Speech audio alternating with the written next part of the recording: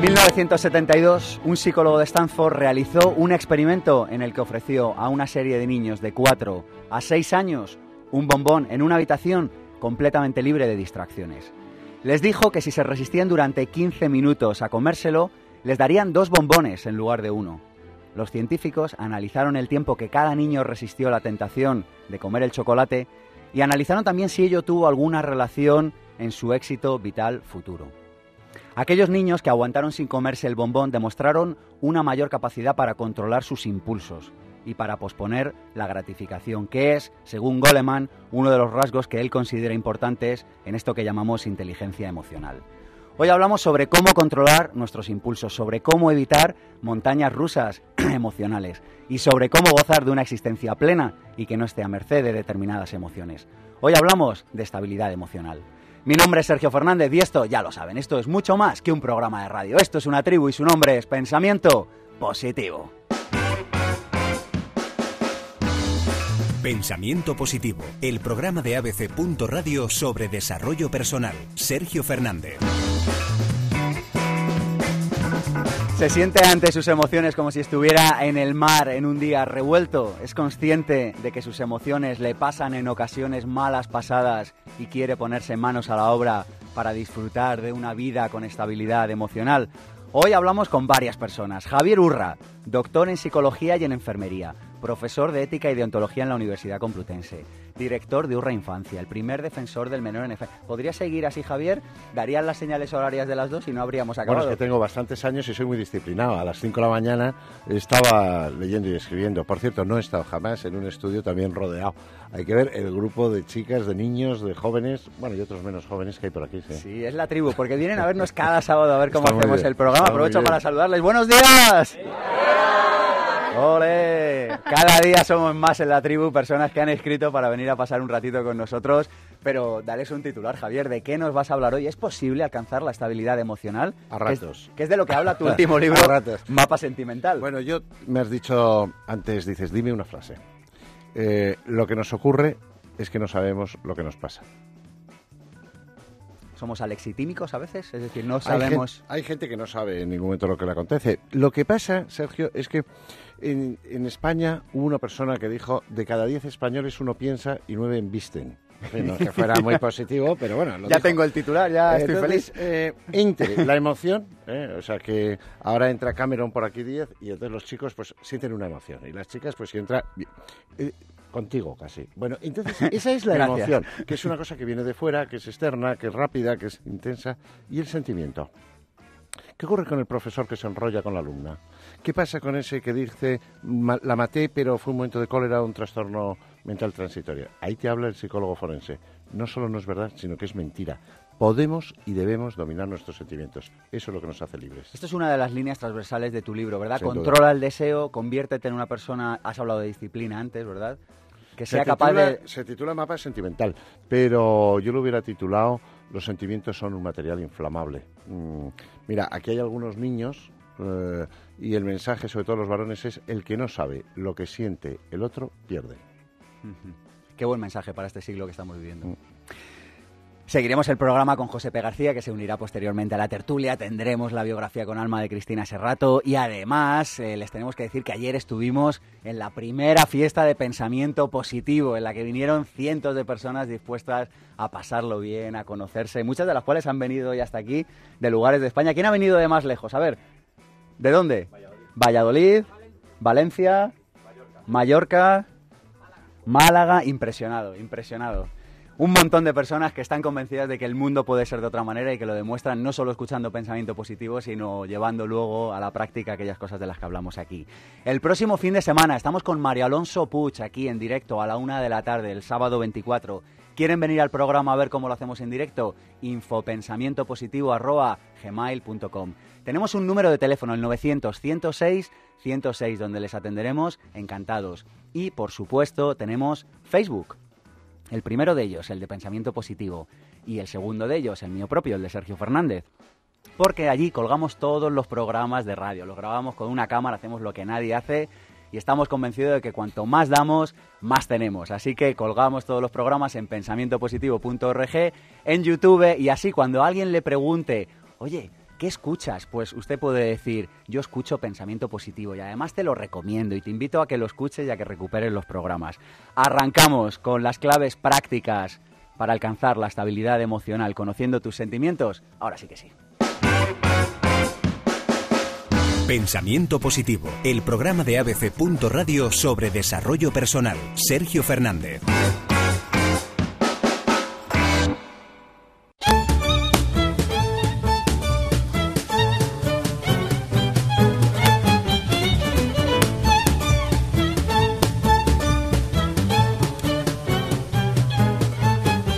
Varias herramientas que nos pueden ayudar a gestionar nuestras emociones. La primera de ellas, no tomarnos tan en serio. Estoy, haciendo la introducción y están entrando como otras 15 personas al programa. O sea, lo de hoy es, es una cosa espectacular. El próximo al Bernabéu. O sea, Yo no lo digo porque sea del Real Madrid, sino porque me gusta el arte. Da igual, donde seas. no tomarnos tan en serio. Es la primera de las herramientas que le propongo hoy. Y le formulo una pregunta. Le digo, ¿dentro de 15 años esto será tan importante? A mí hay una cosa que me ayuda mucho y es pensar en mi autobiografía. Puede sonar un poco pedante, pero permítame que les explique por qué. Yo digo, si dentro de unos años escribiera una autobiografía mía, ¿esto de lo que me estoy preocupando hoy sería realmente tan importante? ¿Lo incluiría en una autobiografía o no dejaría de ser una pequeña anécdota? La buena noticia de esto es que en la mayoría de las ocasiones no deja de ser una pequeña anécdota. Así que idea una de hoy, idea uno de hoy, riámonos de nosotros mismos y no nos tomemos tan en serios. La segunda idea, necesitamos generar cortafuegos emocionales. Tenemos que tener preparados nuestros pequeños cortafuegos emocionales personales. Cuando sabes que te vas a meter en un lío, activa tu cortafuegos. Di, pues me voy de esta conversación o respiro hondo tres veces o, o, lo que sea. A veces el fuego no se puede evitar en el bosque, pero ¿por qué dejar que el fuego lo consuma todo? ¿Por qué no preparar un cortafuegos que evite la catástrofe normalmente con nuestros seres más queridos?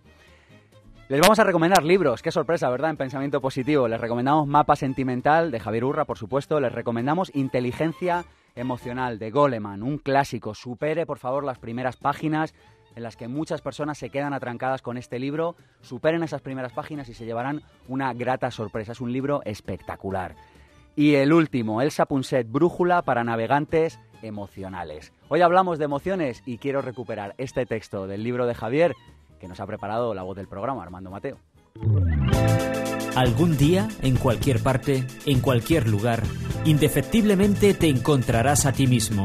Y esa, solo esa, puede ser la más feliz o más amarga de tus horas. Pablo Neruda.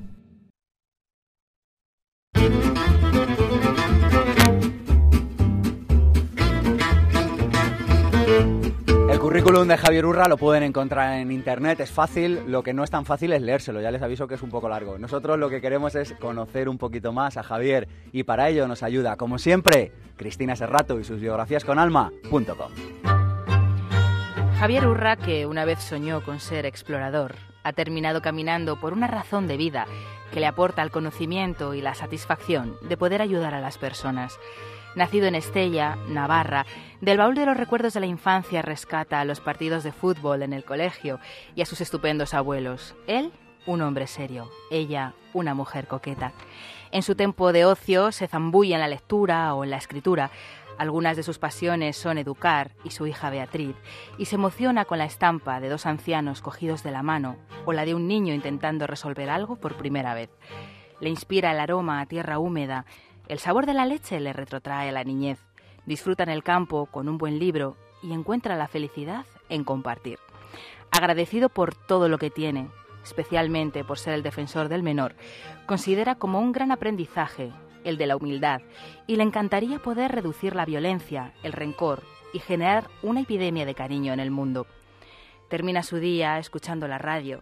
Comienza cada mañana mirándose al espejo y afeitándose, quizá mientras imagina que es un ser sabio con el tesón de Churchill, o quizá mientras contempla en el espejo a un hombre pasional y trabajador que instaría a los jóvenes a que agradeciesen a quienes les antecedieron y a que se responsabilizasen de aquellos que les continuarán. Un hombre que mostraría que la esperanza es una obligación ética y que desearía que aquellos que le conocen, cuando emprenda su gran viaje, le recuerden como un profesional y un ciudadano comprometido. Gracias, Cristina. Gracias a vosotros. Gracias. Por cierto, yo, Cristina, cuando me miro en el espejo, nada, nada de sabio, nada, menos de Churchill. No, no, yo que te gustaría. Me río, estoy jugando ahora con mi bigote a ver si crece. No, nada, yo es que yo hago lo que dice Sergio, yo me río de mí mismo. La gente va por la calle, muy seria, por cierto, le das la vuelta, no cae ni una idea, ¿eh? O sea, nada. No, yo soy un tipo que tengo mucha suerte. Por ejemplo, esta mañana he estado con la gente de Menudos Corazones. Es gente que sus niños han nacido con cardiopatía, cardiopatía congénita, algunos fallecen. Bueno, entonces hay gente que lo está pasando mal por el desahucio, por las situaciones. ¿eh? Y luego, eh, Sergio, este es un programa de pensamiento positivo. Permíteme que ya está bien de que hace poco me fui a Sao Paulo y me encontré con que un tipo de 39 años que tenía relaciones sexuales con una niña de 12 la mató mató a un ciudadano y se suicidó.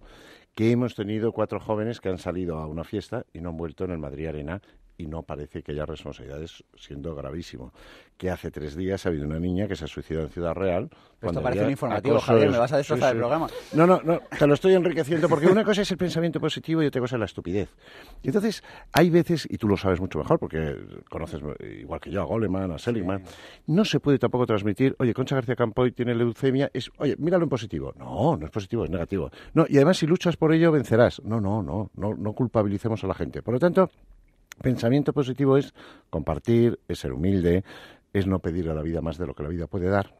Pero también pensamiento positivo es decir que los jóvenes de la OCDE de 18 a 24 años, de lo que más mueren los jóvenes, es de suicidio. por eso, por eso hay que formar a la gente, pues para que tengan, en fin, no sé, airbag emocionales. Eso es lo que es importante. Y estar con la gente que lo merece, que es la gente simpática y la gente que sufre. Y no con los tóxicos, que estoy seguro que aquí no hay ninguno, porque hay gente que es muy pesadica, muy negativa y muy que quieren que todo el mundo gire a su alrededor. Hay gente rara, hay gente que quiere ser hasta presidente de la comunidad de vecinos. hay para. Javier, queremos estabilidad emocional, porque hoy hablamos de estabilidad emocional, pero yo cuando he testado el, tema en la calle, mucha gente me decía, Joder, qué aburrimiento, estabilidad emocional, si esto, esto es como ser un poco como medio yogi, como no sentir nada. Yo, pues yo creo que no, pero se lo vamos a preguntar a Javier. Bueno, yo creo que ¿En qué consiste la estabilidad emocional? Eh, en caminar por la cuerda floja. Eh, con un balancín y no caerte. Eh, es, un desequilibrio. Todos los que estamos aquí dices, oye, si me hubiera casado con otra y si hubiera hecho otra cosa, y si... Oye, tú eres el más... Tú eres hijo del espermatozoide más listo de aquel día. ¿Eso es verdad o no? O sea, ¿qué quiero decirte? Bueno, entonces hay que vernos en, el punto en donde estamos, en la situación en la que estamos. Eh, por ejemplo, la gente es muy quejicosa. La gente es muy negativa. Joder, qué mal momento estamos viviendo. Y hay gente que lo está pasando mal. Yo no. ¿Por qué me voy a quejar yo? Yo lo que tengo que hacer es ayudar y aportar, pero no estamos en la guerra mundial, no estamos... Ahora, hay que leer libros como el que has citado, pero hay que... Si esto es un hombre, por ejemplo, eh, el holocausto. No, se debe de olvidar esas cosas que el ser humano también ha sido capaz de hacer. Por lo tanto, pensamiento positivo, sí. Yo, por ejemplo, participo mucho en el Instituto de la Felicidad de Coca-Cola, que habla de la felicidad, pero es la felicidad, el bienestar, los amigos, joder, que tiene que ver un joven ahí agilipollado bebiendo toda la noche con los que salimos hoy y nos iremos a Sigüenza a conversar un vino. ¿Qué hmm. tiene que ver? Es que conversar un vino es muy bonito y mantener los amigos. El prólogo lo ha hecho un buen pensador, muy buen amigo, que es Javier Sadaba. A mí Sadaba me llama todos los meses y me dice, ¿somos amigos? sí. Dice, quedamos a comer hoy o mañana. Y digo, hoy. Es que eso es lo importante. Eh, y lo importante es ir a ver a mi madre, que está con Alzheimer en una residencia, y que empieza ya a tener una bruma como el día de hoy, pero que te siente, es que eso es lo importante. Oye, dices en tu libro que las mujeres prestan más atención a los sentimientos. Ah, sin duda. ¿Qué tenemos que aprender? danos, danos, una clave práctica para los hombres, algo que podamos hacer ahí. tan guapa que tienes al lado? ¿Tú te llamas? Si se deja. ¿Cómo? Elena. ¿Tienes pareja? No, no tengo. ¿Seguro? Seguro, vamos. Lo sé bien, ¿eh? No, lo sé bien. No le Eso creo. Lo sé bien. Bueno, no te creo. Es fácil. bueno, no te creo. Pero bueno, vamos a suponer que sí. Pues ahora imagínate que tú llegas a casa y le dices a tu pareja, oye, me ha dicho un señor con bigote que te acuerdas aquella vez que fuimos a Danero a cenar y me dijiste una cosa que no me gustó nada. Y tu pareja, si es varón, casi seguro que no se acuerda ni que ha estado en Adanero. Es decir, ¿qué nos, ¿qué nos falla a los chicos? En general, no os mosquéis. Eh, memoria afectiva. ¿Sabes lo que os sobra a vosotras, Elena?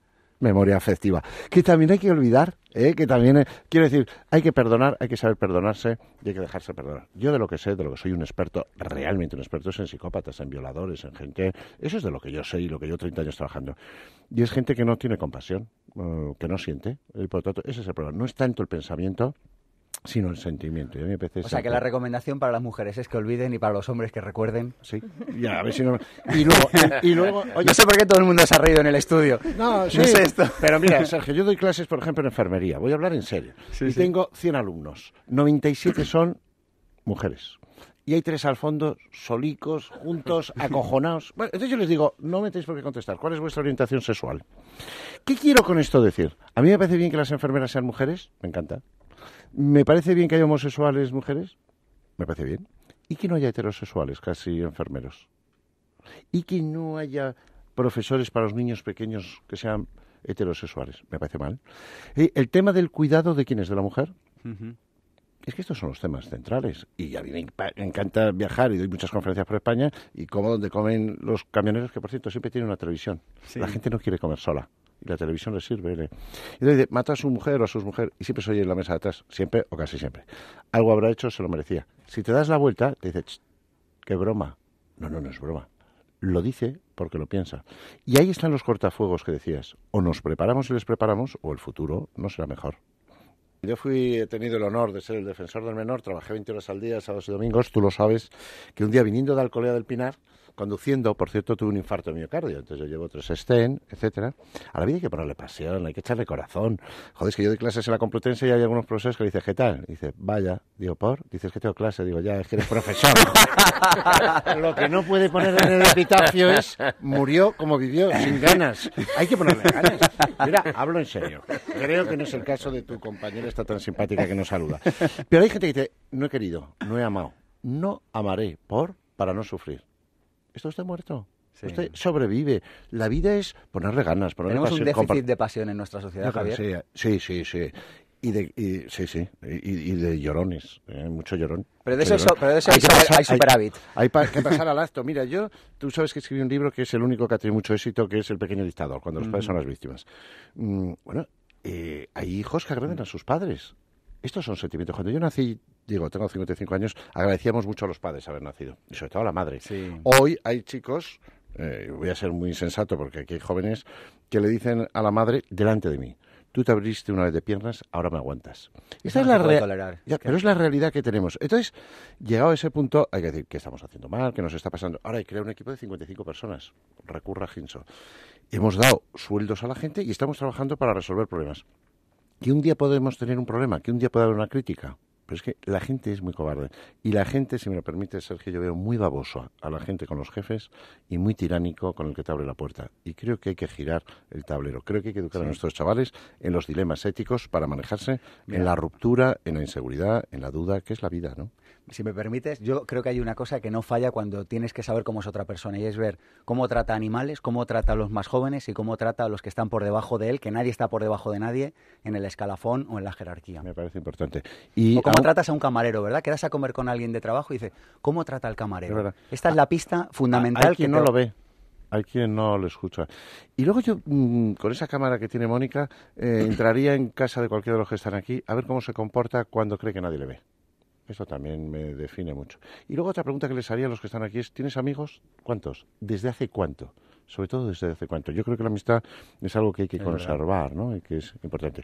Y luego me parece esencial el respeto a los más mayores. Y a los más jóvenes, y a la vida, y al planeta, y a todo. Sí, pero yo soy el defensor de menor. Pero esto de el niño es el tesoro, todo el mundo... No, el niño es uno más, por cierto, y es importante. Y otra cosa en relación a los sentimientos los niños debían de ir a los hospitales y debían ver a los niños que están enfermos. O llueve, bueno, pues ya está, pues o nos mojamos, que es una bonita posibilidad, o, compartimos el paraguas. O sea, veamos lo que es importante, mm. relativicemos lo que no lo es. Decías tú, ¿cómo será tu biografía? Suponiendo que la tengas, pues, pues y si te la haces tú, mal. Mal. O sea, es que hacerse una biografía es hacerse trampas al... Claro, eh, pero era, un, pequeño juego, Pero si es que el periódico de ayer ya no tiene importancia. Estamos aquí todo el día, que si lo de Cataluña, que si la frontera, que si... Yo entrevisté a un joven que se llama Pedro Duque, que es astronauta español, y le dije, oye, ¿cómo es la Tierra desde la Luna? Y dijo, blanca y azul. ya está, todo lo demás son tonterías, hay muchas. El deseo es la esencia del hombre, pero el ser humano posee la voluntad como el más valioso recurso para evadir la tragedia que implica la servidumbre frente al deseo y las pasiones. Hablas mucho del deseo, Javier. necesitamos un limitador de deseos, igual que algunos coches tienen un limitador de velocidad que cuando pasas de X velocidad te hace pip Necesitamos un limitador. Has puesto el ejemplo buenísimo de, la aceptación de la frustración, del diferir gratificaciones. ¿Sabes lo que ocurre? Que la gente se cree, todo el mundo, que el más importante es yo. O sea, tú vas por la castellana o, por la, no sé, o por la diagonal y va un tío con el coche, ve un semáforo en rojo, se mosquea. Llega el siguiente y lo ve rojo ya está mosqueado del todo. O sea, cree que el mundo está en contra de él, pero bueno, pero ¿por qué creemos que el resto de la gente ha nacido para hacerte la vida fácil si no es así? Mm. Pero ¿quién ha dicho además que la vida es justa? Si tampoco es cierto. Es decir, o sea, es que partimos de unas cosas que, y a partir de ahí hay mucho problema, ¿no? Mm, lo que sí creo es que ser generoso, ser altruista, compartir. Nosotros lo hemos probado, ¿eh? Toda una persona le das un millón de euros y es feliz X. Tú le das un millón, lo entrega a quien lo necesita y es mucho más feliz. A la gente, si le das la opción de ser buena, somos, y me incluyo, muy buenos. Eso es verdad. Yo también lo creo. Pero vamos, yo lo he visto, sí, sí. Javier, tres claves prácticas que podamos poner en práctica hoy, sábado 17 de noviembre, que nos hagan mejorar nuestra vida, que nos ayuden a gobernar nuestras emociones. Primera. Eh, una, pensemos cuál es el proyecto e impliquémonos en él. Un proyecto de vida. Una visión, algo más grande que nosotros. Sí, un ideal, un algo por lo que vivir. Es decir, nacemos al final. Cuando has nacido sueles nacer llorando y te sonríen. Y cuando te mueres a mí me gustaría sonreírme y que me lloren. Y en el mientras tanto hacer algo. Esa sería la primera. La segunda, relativizar relativizar las cosas, no darse trascendencia y mañana es un nuevo día. ¿Y cómo hacemos para eh, relativizar, Javier? No ser tan atontados. Es que la gente coge el ascensor... Ay, me ha gustado esto, igual lo cojo de corte, no sé. No ser tan atontados. Es que la gente coge el ascensor, no le saluda al del cuarto D y ya estamos quedado dos horas. en el autobús y no me ha saludado. ¿A ti qué te importa el del cuarto D? Pero no es que si además quieres caerle bien a todos es imposible, sería preocupante. Por lo tanto, relativizar las cosas. Es decir, el niño ha suspendido, pues tendrá que aprobar cuidado que puede ser que te traigan otra nota que diga tiene leucemia y le quedan seis meses de vida. Entonces, veamos lo que es grave y lo que no lo es. Tercera. Y tercera, eh, ser agradecido, darle gracias a la vida, que es lo que tenemos, eh, y darle gracias a la gente, la mayoría de la gente, y, y tener ese puntito de decir, hoy seguro que conozco a alguna persona que es encantadora y me sorprende. Las personas podemos olvidar lo que se nos dijo, incluso lo que se nos hizo, pero es difícil que olvidemos cómo se nos hizo sentir.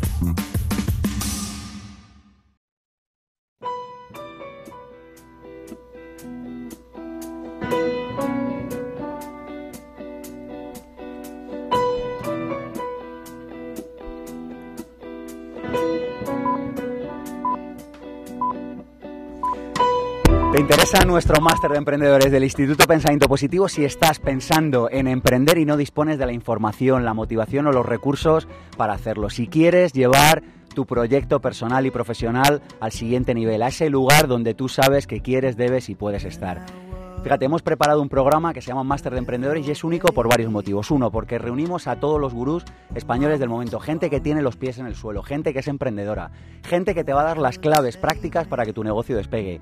Dos, porque unimos desarrollo profesional con desarrollo personal. Creemos que tu negocio no va a crecer más de lo que crezcas tú como persona. Tres, porque es práctico, pero práctico de verdad, porque creemos en que la teoría no sirve de nada si no la llevas a la práctica, así que estaremos detrás de ti empujándote para que saques tu proyecto. Y por último, porque es un máster delicatessen, es una delicia, sabe como el mejor vino posible, pero lo mejor es que tiene precio de Don Simón, es un low cost, te lo puede comprar cualquiera porque creemos en la divulgación, porque creemos en hacer accesible esta información a todo el mundo. La primera edición está llena, segunda edición arranca el 1 de febrero, masterdeemprendedores.com. ¿Quieres desarrollar un proyecto emprendedor con éxito? ¿Te gustaría disfrutar del estilo de vida que deseas? Por fin, lo que nos enseña en las escuelas de negocios o carreras universitarias, las claves prácticas y la inspiración para que puedas diseñar tu propia vida y desarrollar una actividad apasionante y significativa. Aprende cómo hacerlo junto a los mejores profesionales de España. Vente al Máster de Emprendedores, claves prácticas para alcanzar el éxito en tu proyecto. Este máster es una titulación propia del Instituto Pensamiento Positivo. Consulta la oferta especial de lanzamiento. Toda la información en www.masterdemprendedores.com emprendedores.com. ¿Sabes cómo preparar guarniciones que no aburran? Ten en tu congelador tempura de verduras maeso, una forma equilibrada y original de acompañar tus platos. Mmm, una gran idea crujiente y sabrosa. Maeso. ¿Sabes lo que comes? ¿Te gustaría emprender pero no sabes a qué dedicarte o por dónde empezar? ¿Te gustaría dedicarte a la profesión que amas y generar extraordinarios ingresos por ello? Existen soluciones para tus problemas laborales. Apúntate al seminario intensivo Vivir sin jefe y las conocerás. Aprenderás a conseguir tus objetivos y saldrás con herramientas que funcionan. Superarás las limitaciones que han frenado tu vida y conseguirás resultados. Seminario Vivir sin jefe, impartido por Sergio Fernández. Madrid, 23 y 24 de marzo. Más información en pensamientopositivo.org. Compartamos momentos. Ideas, sensaciones, emociones, expectativas, preocupaciones, ilusiones. Vivir es compartir. Pensamiento Positivo, el programa de ABC. Radio sobre desarrollo personal. Sergio Fernández.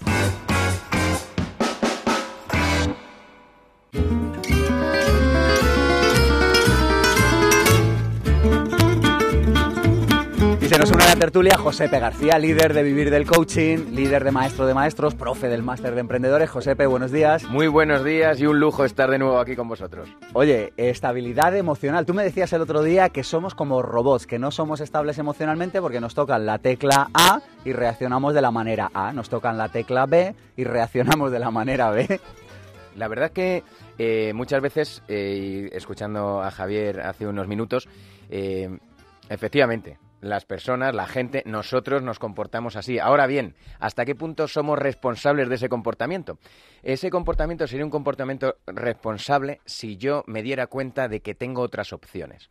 Pero a mí me da la sensación, y esto es una sensación, que en realidad a mí me han programado para actuar de ciertas maneras y no contemplo otras opciones. Y al no contemplar otras opciones no puedo decidir, no sé qué se puede decidir. Entonces, para mí, eh, uno de los hechos más importantes en esta vida es despertar o tomar conciencia, ¿no? De repente darme cuenta que yo podría elegir otra cosa, que me he enfadado, pero podría elegir dejar de estar enfadado, ¿no? Hay una frase que me encanta, dice, eh, eh, por ejemplo, una que he sacado de Anthony de Melo, que es para mí un, admirado maestro, ¿no? ¿Qué, haríamos sin los cuentos de Anthony de Melo en nuestra vida, Impresionante, ¿verdad? El maestro era realmente despiadado con quienes se complacían en la autocompasión o en el resentimiento. Dice, recibir un agravio, decía, no significa nada, a menos que uno insista en recordarlo, ¿no? Entonces, fíjate que eh, no sabemos que eh, puedo elegir el que ese agravio no me afecte si no me lo tomo como un agravio, si no le doy autoridad al otro. ¿Pero qué me han educado? A defenderme. A mí si me llama alguien, tú eres estúpido, la reacción es de defensa, aunque me importe un bledo lo que el otro piense. Entonces creo, Javier, pregunta que te lanzo. ¿Cómo crees tú o cuáles serían herramientas o cosas que podríamos poner en práctica para, para que las personas despertaran o, o pudieran pasar de esa supervivencia a vivir una vida plena dándose cuenta de que en realidad pueden decidir su respuesta? Pues yo creo que la respuesta está en tu pregunta, ¿no? Dándose cuenta. Eh, porque no estamos tan marcados. Es decir, la herencia es el inicio, el resto es la educación y nuestra autoeducación. Es decir, yo puedo emplear la ironía. Yo puedo tener pánico y miedo y mostrarme como un valiente. Depende de la situación. Si ahora pasa algo y aquí hay una niña, da por hecho de que yo la voy a defender. Dalo por hecho. O sea, ¿por qué? Eh, ¿Por qué un niño nunca se quema cuando hay un incendio si está con una madre? y la madre le protege en esa posición fetal. Y en cambio, si está la chica con el novio, date por. bueno, es decir, son posicionamientos que caben. ¿Qué nos cabe pensar? Mira, tú, aquí Sergio va a decir, claro, es que los que son oyentes de este programa tienen que estar fidelizados, ¿de acuerdo? La mayoría de la gente en España, que tiene una democracia dubitativa en algunas cosas, escucha siempre la misma radio, lee siempre el mismo periódico y ve siempre la misma tele y además dice, joder, qué bien, dicen lo mismo que yo pienso. Claro. en, una, sociedad que es rica, que es compleja, que es mm, que requiere un pensamiento alternativo, lo que yo creo es decir, ante ciertas situaciones, cómo he de... Y, por lo tanto, haberlo anticipado. Cuando tú vas a un cine, dices, ¿dónde pones salida? Exit, por si pasa algo. Pues esto es igual. Tenemos distintas opciones. Es verdad que los recursos son los que son y que somos animales evolutivos. Y a ti te ponen un árbol con una serpiente y una manzana y tú miras a la serpiente. Porque es lo que nos previene, ¿no? Entonces yo creo que en algo somos muy instintivos. El ser humano es muy instintivo, ¿eh? O sea, el señor de 88 años que mata al vecino porque ha entrado en su linde lleva 87 años avisándole, como entres, como entres, dentro. Entonces, por cierto, ¿le puedo contar a esta niña un chiste? Claro. Es que tenemos una niña en el estudio. Y entonces, dice, ¿qué años tienes? ¿Pero cuántos años tiene? ¿Cuántos años tiene? Dilo. Cuatro. Cuatro. Pues había un, dos niños, pero dos niños chicos, varones. Y le dice uno a otro, ¿qué años tienes? Y le dice, cinco años. Dice, ¿cinco? Dice, sí, cinco. Dice, ¿y tú? Dice, no sé. Dice, ¿no sabes? Dice, no. Dice, ¿te preocupan las chicas? Dice, no. Dice, entonces tienes cuatro. es una tonta. Bueno, bueno, una tontadita. Pero bueno, yo creo que sí, que podemos eh, en algo, en algo autodominarnos, ¿eh? pero somos muy sensibles porque a lo que tú preguntabas nos importa mucho el otro el otro no sé, es esencial. Pero, Tú te caes por la calle y la gente se levanta, no, que no ha sido nada. Joder, da la vuelta a la esquina y dice, joder, me he desgraciado. Eh, y, te has visto con tres personas que no te vas a volver a encontrar en la vida. Nos importa mucho el otro. Somos muy sociales, sí. La generosidad como principio de estabilidad emocional. Yo tengo la intuición de que si estás demasiado preocupado es porque piensas demasiado en ti mismo. Sí, eh, somos muy yo-yo. Yo, yo, mi, me, conmigo me pasa, lo siento, tú escuchas en la cafetería al lado, yo soy un cotilla social y escucho mucho lo que dice la gente y tal, y es porque tal, porque no me entienden, porque no sé qué, porque tal, porque es injusto, porque claro, porque yo hago, porque... Pero tú, ¿qué te crees que hacen los demás? ¿Y cómo llegan los demás de reventados? Y, mm, no sé, es muy difícil. Y cuando la gente dice, me pongo en tu lugar, no es verdad. Por cierto, en ocasiones, cállese. O sea, cuando la gente se muere alguien, oye, no, sé por lo que estás pasando. o no. o ya la estupidez total. Una persona que pierde un hijo y dice, bueno, pero tienes otros tres. Porque no le pegas un puñetazo ya. Yo creo que en la vida lo que nos falta a veces es el piel con piel, el contacto. Yo empecé trabajando con niños deficientes mentales, que es de los que más he aprendido, y llegaba a casa lleno de mocos, sobao, sudado. Y cuando gané las oposiciones del Ministerio de Justicia, llegó el primer chaval de estos que cometen violaciones, complicado, le puse la mano encima y le digo, ¿qué tal? Y me dijo, quítame la manita de encima. ¿Qué es lo que no soporta el tipo? El apego, el compromiso, el vínculo. Eso es, ¿no? Entonces yo creo que en eso tenemos que intentar con el resto de la gente estar más próximos. Igual que en los puertos de carretera, que tienen mucha pendiente de descenso, existe una zona de frenada ya dispuesta. Bueno será que a título emocional y sentimental también preparemos salidas de emergencia ante situaciones de riesgo en las que se desborde la capacidad ordinaria de frenada emocional y sentimental. Pues esta es, vamos, una herramienta magnífica para, para, anticipar en los posibles escenarios. Para eso necesitamos saber anticipar los escenarios, saber que, que hay cosas que, que nos han pasado y nos pueden volver a pasar, que no tienen por qué. Como tú decías antes, ni la vida es perfecta ni la vida es justa, la vida es la vida, ¿no? Y para quien sepa sacar el mensaje de la vida, pues será una vida grandiosa, y para quien sepa eh, captar el mensaje de que la vida es una faena, pues será una faena, la profecía se autocumple. Pero yo veo, por ejemplo, que hay una cosa que nos machaca muchísimo y nos, eh, y nos impide disfrutar y, no tener estos, estos, estos caminos de, emergencia. Y es, por ejemplo, lo hablabas tú antes, Javier, la expectativa, ¿no? La expectativa está vinculada a lo que yo espero, ¿no? ¿Y qué hace que me altere, que me frustre, que me entristezca o sobre todo que me enfade? ¿Eh? Que las cosas no sucedan como yo quiero. Y cuando no suceden como yo quiero, no tengo plan B. Lo que tengo es un acceso de ira, un acceso de malestar, un acceso de... Y, no hay plan B. Y yo mismo luego con mi diálogo interior me retroalimento esto que comentábamos, me lo repito hasta la extenuación para seguir enciscado en lo mismo durante un mes y medio, ¿no? Yo creo que... Yo quiero proponer un experimento aquí, que es un experimento grandioso, lo propongo para que se pueda hacer el lunes. No propongo el domingo. hoy. Eh, Hoy, es que ¿sabes por qué? Porque hoy sería un poco fácil. Vamos a hacerlo en un terreno ya. Es el día, declarar el día de la no expectativa. ¿Qué es el día de la no expectativa? El lunes por la mañana os propongo a todos los que nos estáis escuchando y aquí los que estamos en estudio. Te levantas por la mañana y tú quieres que ese día pasen ciertas cosas, como todos, hacemos nuestro plan. Pero el lunes en concreto, pase lo que pase una vez hecho el plan, no ocurre nada. Así está bien. Qué bien. ¿De acuerdo? Entonces, a ver qué ocurre cuando tú tienes un plan, no, no sucede lo que tenía que suceder y tú ya desde por la mañana has asumido que podía no suceder lo que tú querías que sucediera, ¿vale? Pero ese día, solo ese día, ya el martes vuelves a como siempre, a estar fastidiado con todo lo que ocurra, pero, pero el lunes es el día de la no expectativa, ¿eh? Os propongo este experimento porque es un experimento que lo hacemos en inteligencia emocional, en coaching, y es absolutamente asombroso. ¿Me dejas que te pida otro ejercicio, Josepe, que me dijiste y que también me gustó mucho, el de asumir la posición del observador, es decir, elevar tus ojos medio metro hacia atrás. Pues ese, ese es magnífico. Hay una pregunta eh, cuando mm, nos estamos enfadando, por ejemplo, eh, para la autogestión de la emoción, y es, según me estoy enfadando, solo hay que decir, anda, mira, me estoy enfadando. Pero curiosamente, solo un observador, tu observador, lo puede decir. Porque en ese momento, para hacer esa observación, tienes que salirte de ti mismo, del tío enfadado, decir, mira, me estoy enfadando, y luego ya vuelvo a entrar en la emoción.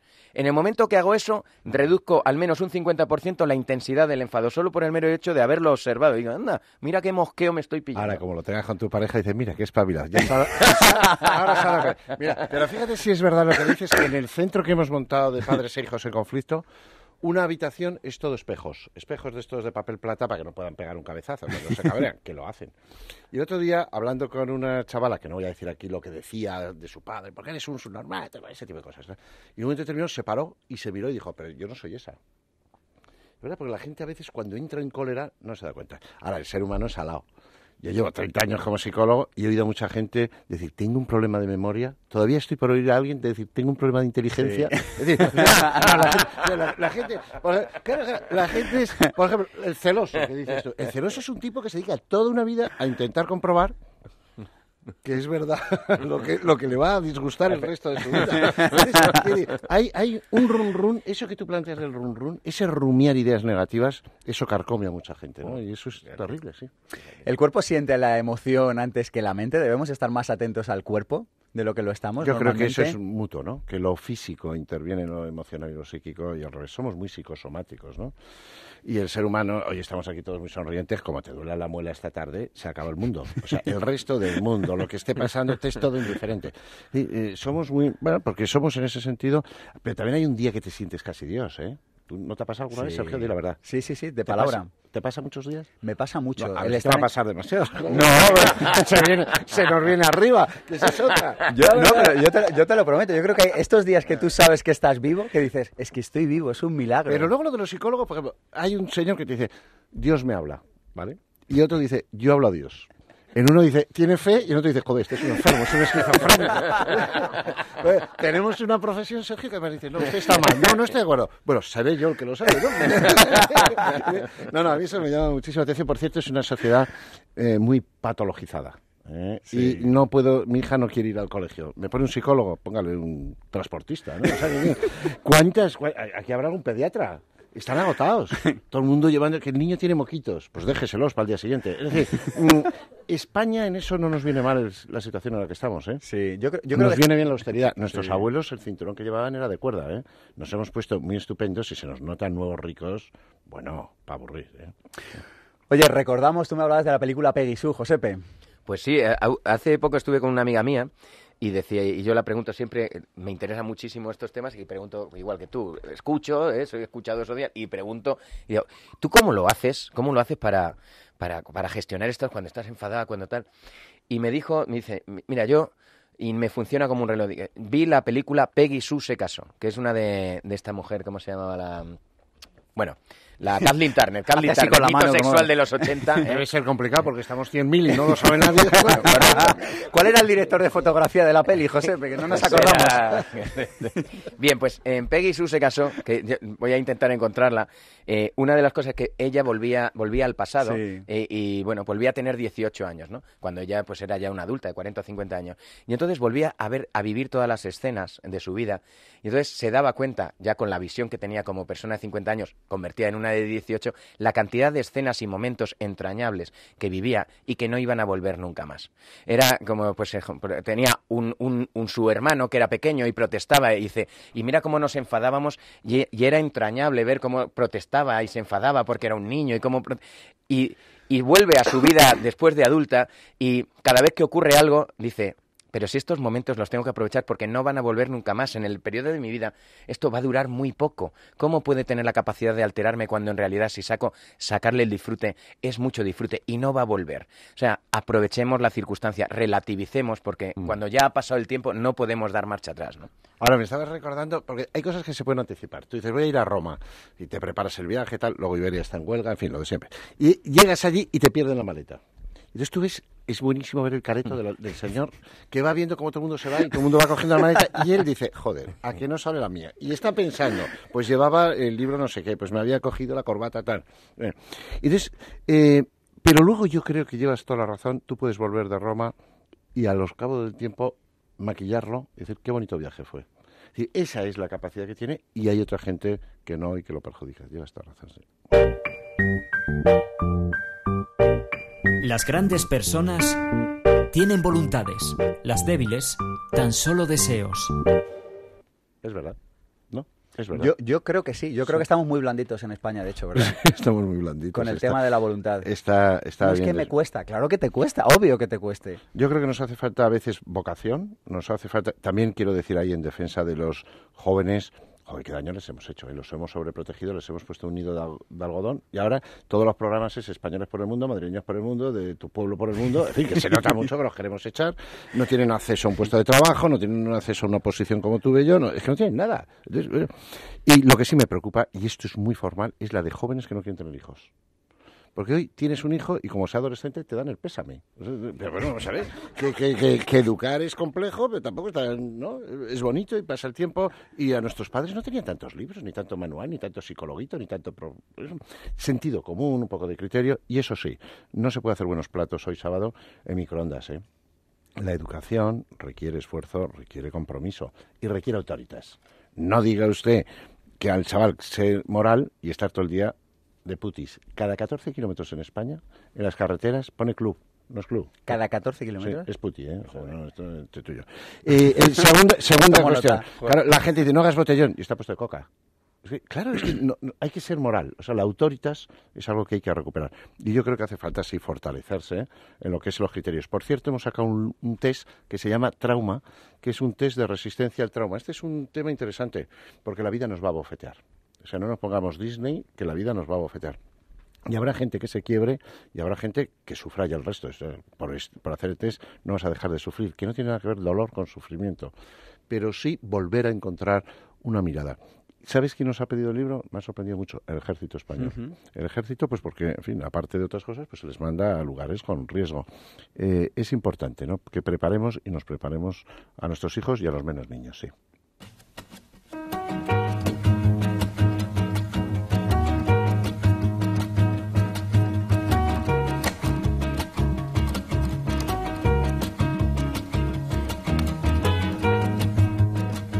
23 y 24 de marzo, seminario intensivo Vivir sin Jefe. Dos días donde vamos a sacar contigo tus objetivos, vamos a trabajar tu visión, tu misión y tus valores, donde vamos a sacar tu plan de marketing adelante, donde vamos a trabajar una herramienta para dejar atrás todos tus miedos y para superar ese techo de cristal que a veces tenemos todos los seres humanos. Toda la información en pensamientopositivo.org. Y si dices que vienes de parte de la tribu, de aquí, del programa de Pensamiento Positivo, tenemos un detallito contigo. Ya lo sabes, vivir sin jefe, te mereces un estilo de vida, ese que tú deseas. Pensamiento Positivo, el programa de ABC. Radio sobre desarrollo personal. Sergio Fernández. Pero ¿quién ha dicho que un papel escrito es peor que un papel en blanco? Y esto es otra cosa genial que estoy viendo en esta sociedad. Tío de 67 años que dice, ¿qué tal? Dice, estoy hecho un chavalote. ¿Qué coño? Está artrósico perdido. O sea, todo el mundo está joven, todo el mundo está estupendo. Claro, pero ¿qué pidamos y vayamos en la vida como es eh, normal, ¿no? Con cierta sencillez, con cierta austeridad, con cierto criterio, ¿no? Me parece que eso te da también una cierta elegancia a la vida. Me ha encantado esto de que eh, cuanto más crecemos, más libres somos. Yo empiezo a ver, Porque nos, quitamos paja, ¿verdad?, de la cabeza. Por eso, eso me parece muy bastardo los padres que impiden a los niños que estén en contacto con los abuelos.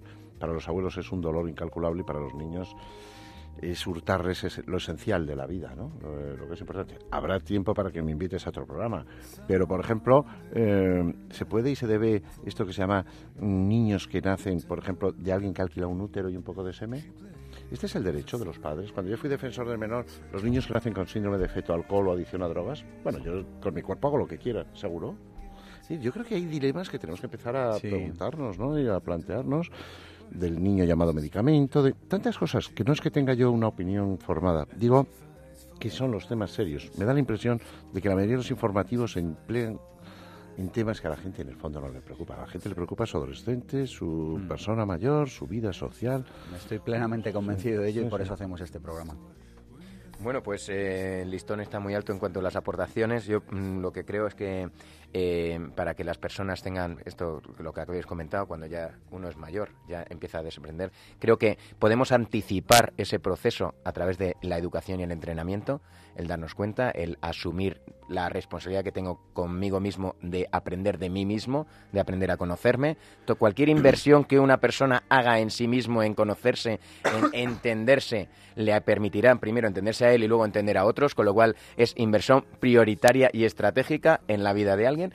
Y luego, además, eh, creo que eh, nos debemos dar la oportunidad de, de fallar, perdonarnos el fallo para seguir aprendiendo, convertir los errores en oportunidades de aprendizaje y también eh, a mí hay una cosa que es la aceptación que también nos ayuda muchísimo en la estabilidad y también mm, me remito otra vez a Anthony de Melo, decía, ¿cuál es el secreto de tu, de tu serenidad? preguntó el discípulo.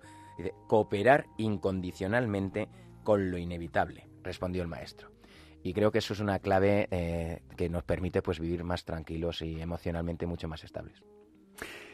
El mapa, tú me hablabas también, Josepe, de que el mapa no es el territorio, ¿verdad? Mm, penelero de, de, pro. Explícanos esto. todos tenemos nuestro mapa del mundo, pero el problema es que solemos tender a que, creer que mi mapa, el cómo interpreto el mundo, es el mundo. Y no. El mundo es el mundo y yo solo interpreto muy, muy parcialmente, pero mega micro parcialmente lo que sucede. Solo tengo un... Pero tiendo a creer que mi interpretación es la general. Y cuando alguien no lo interpreta así, ¿eh? es un error. Y no es un error todo el mundo tiene derecho a interpretar el mundo. Sencillamente por la cultura en que han nacido, los que hemos nacido en España pensamos de una determinada manera. Esto en, en antropología se llama enculturación. Tenemos tendencia a creer que nuestra cultura es mejor que otras, ¿no? Por, el mero hecho de hemos, libro le hemos el título de mapa sentimental convencido que las mujeres sí saben interpretar mapas. lo, que, lo que sí he comprobado es que los varones nos perdemos, pero aunque sea en Teruel, ¿eh? Y no preguntas. O sea, te da como cosa preguntar y estás dando vueltas. Por cierto, que luego preguntas a la gente y dices, oiga, tal calle, uh, va muy mal, está muy lejos. Levanta la mano derecha y dice, por ahí, por la izquierda, y dices, joder. O sea, la gente, qué mal señala, por Dios. Javier, estamos eh, demasiado soberbios. Hay una frase de tu eh, libro que me ha gustado mucho. Dice, una especie humana tan soberbia que se queda flasheada cuando se hunde el Titanic tiene un problema. Yo me acordaba, visitaba la isla de Lanzarote hace poco y fui a ver el volcán. Y entonces te atienden allí señores con bata blanca y me dicen, está todo controlado, aquí no hay ningún problema. Si va a explotar el volcán, eh, lo, lo, sabemos. Digo, hemos perdido el juicio como seres humanos. O sea, ¿cómo podemos pensar que podemos controlar la naturaleza? Estamos tontos. estamos tontos, es una afirmación. Ah, pero que. Era, una pregunta. No, no, es una retórica. de hecho. a mí me gusta la radio de día, pero me gusta más de noche. Porque la mitad que llama está colgado. Y eso es genial para los psicólogos, ¿no? Y además la gente escucha. Eh, técnico así. Eh, yo creo que somos encantadores, ¿no? En ese sentido, y que somos capaces de lo mejor, de lo peor, de. ¿Qué hacemos con la soberbia? No, no, a mí me encanta la gente. Yo voy en un avión y sé quién va a pedir un poleo menta. Digo ese. y lo aciertas. Quiero decirte, eh, yo creo que hay que apasionarse con la gente, hay que apasionarse con las cosas que vamos haciendo, dar gracias a los que de los que hemos heredado todo y dejar un poquito mejor este mundo para los que vengan. Y sí, de ser humildes, ser sencillos, sin más. Pues a mí como colofón, eh, pensar que nuestro mapa del mundo es igual de bueno que el del otro y por lo tanto desde el respeto se construye. ¿eh? Mi mapa yo opino así y tú opinas no, pero tú opinas así, no, y tú opinas así. Y una frase para acabar, ¿no? que a mí me encanta y la tengo colgada en mi despacho, y es el arte de ser sabio es el arte de saber qué pasar por alto. Qué bonita. El arte de ser sabio es el arte de qué pasar por alto. De saber qué pasar por alto. Javier, muchas gracias. Te regalo un vídeo sin jefe. Si, hay algo que me hace feliz es regalar libros. Así Mira que... qué libro tan bonito. Muchísimas ¿eh? gracias. te lo regalo, Josepe. gracias, Javier, porque tú ya lo tienes, te lo sabes. Correcto. Cuento contigo otro día, José, por aquí. Por supuesto, será un placer. Javier. se llama Los 50 errores del emprendedor. Sí. ¿Emprendedores porque ya no se quiere decir empresario? Es que tenemos un problema en España con eso. Este programa habla mucho de eso. Ah, ¿Te vienes otro día por aquí, Javier? ¿Me quedo? Hombre. Alguien dijo, no hay necesidad de apagar la luz del prójimo para que la nuestra brille. Y esto es lo que ha hecho un equipo fantástico que semana tras semana quiere y desea que su luz brille tanto como sea posible. Lo componen Mónica Galán, Armando Mateo, Alberto Peña, Cristina Serrato, Andrés Triano y Víctor San Román en el control. Mi nombre es Sergio Fernández y esto, ya lo saben, esto es mucho más que un programa de radio. Esto es una forma de estar en el mundo. Esto es una tribu y su nombre es Pensamiento Positivo.